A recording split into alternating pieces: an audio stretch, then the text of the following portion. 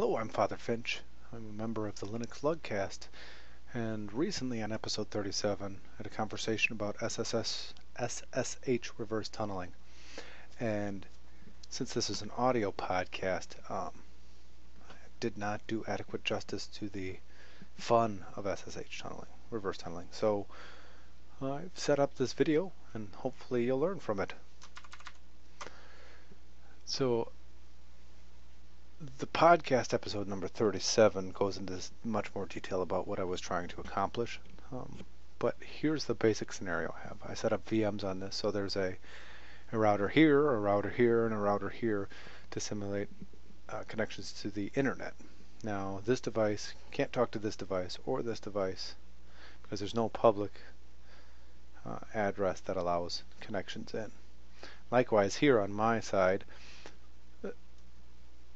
I can go out, but nothing can come back in. This guy out here, however, has a public IP address, and the, the firewall allows all connections on that network. So the scenario I outlined on the show was that a customer who was having an issue with one of their internal web servers, and they had no way of getting us a VPN connection to assist with the diagnostic work. And what I set up was this uh, tunneler here, this reverse tunneler, and uh, I'll get I'll do a more screencast in the future, but essentially they plug this into their network. Um, there's a script that kicks off the SSH tunnel, which goes out to this machine, and through that I then have access, uh, kind of a de facto VPN to their network. So how this works is we've got this machine here. It creates a SSH reverse tunnel with the dash R flag. And what happens is it says, I'm going to open up a connection on port 22 of this machine, but I'm also going to ask that this side listen on port, uh, for our example, it's going to be 55555.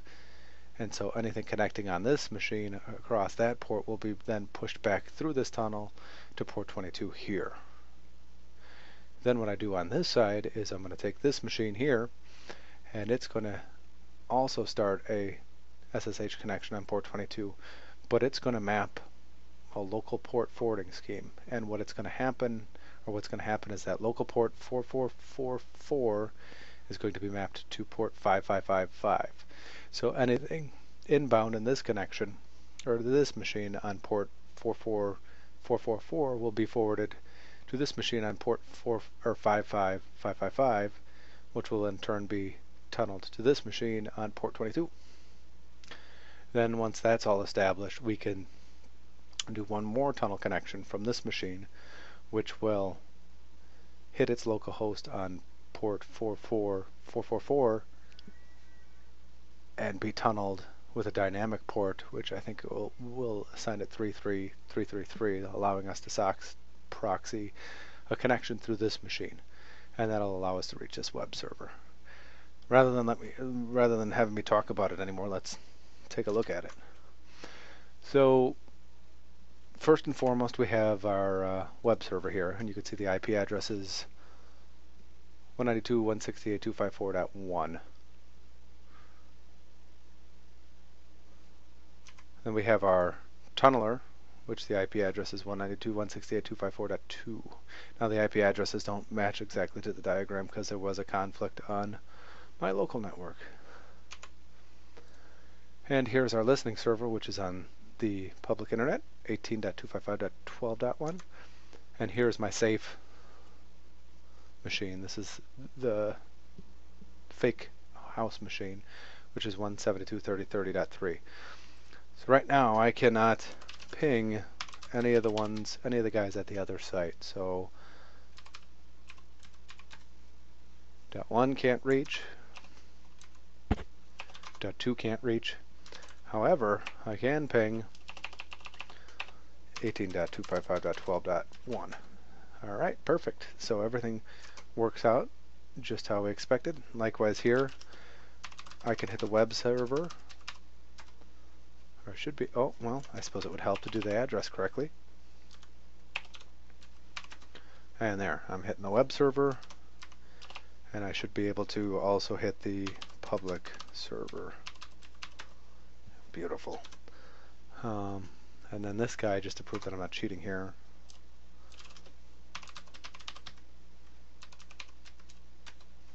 can't hit that, can't hit that, and can't hit that guy. So we are limited everywhere we're going to be. Now the listener server we don't actually have to um, worry about. Uh, there was a, a, little bit of configure ahead of time and we'll go through that. Um, I set this up to use a private key exchange so that all of the SSH connections to the listener are going to be going through or so that they're connect they're non-interactive connections to that. So the first tunnel we need to build is this guy, and it's gonna we're, what we're gonna do is we're gonna say SSH, and we're gonna say it's a non-interactive flag so that we don't we don't expect to have to do anything to this session once it's built. We're also going to run it in the background. Alright, we're going to give it the reverse flag to say that we want to allow connections from the host we connect to back into ourselves. So we are going to say port 55555 to our local host. It's going to be forwarded to port 22. Now we're going to have to use our name, which is listener, at 18.255.12.1. And boom, because we don't see any errors, that tunnel is up and connected. Here, we are also going to make a tunnel to the listener, and it's going to be SSH dash N dash F. Instead of a instead of a reverse, we're going to do a local forwarding, and we're going to say that port 44444 of our local host is going to be mapped to 55555 on listener at that public server address. Perfect. And you could see we did not get any errors, so that tunnel is also built. The last thing we're going to do here, or well, let's before we get going on this, we're going to test this internet connection. So I've already configured this proxy here. Um, so we're using a SOCKS proxy, which is our local host, port 33333, which is perfect. So if I try to navigate to 192.168.254.1, which is our web server, the proxy server is refusing connection, so I shouldn't be able to even get to uh, anything right now. Yeah, okay, so I'm going to close this out. And we are going to now create a tunnel between the safe host and the tunneler at the far end of our connection and we're going to do dynamic port forwarding. So we are going to do a port of, we're going to leave this one interactive because we need password authentication on the tunneler. Um, if we had set a private uh, key exchange we wouldn't need to do that but this lets us play around and gives us more tools anyhow. So 44444 so that's telling SSH to use a destination port of 44444 and we're going to say dynamic port which will be local local host and we're going to say 33333 and what the dynamic port is our local host will listen on port 33333 and automatically forward any of its traffic through this tunnel out the other end. And here we are actually going to use need to use tunneler at localhost. And we're getting the password prompt. So boom you can see I am now in tunneler at tunneler. IP add. You can see that there I am at the 254.2 address.